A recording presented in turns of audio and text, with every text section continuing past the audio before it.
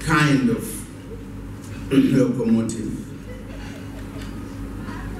Relatively light and efficient locomotive that could ride these tracks and navigate their twists and turns.